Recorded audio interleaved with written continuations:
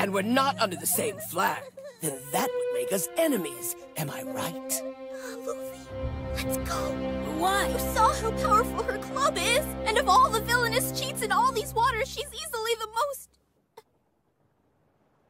I decided long ago that I'm gonna be king of the pirates. If I have to die fighting for that, then I die.